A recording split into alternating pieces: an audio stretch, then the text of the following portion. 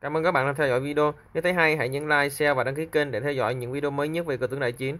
Và đừng quên để lại bình luận, góp ý bên dưới video. Các bạn cũng có thể truy cập website cờ tướng đại chiến.com để theo dõi cũng như ủng hộ kênh ngày càng phát triển. Xin chào và hẹn gặp lại các bạn trong video tiếp theo.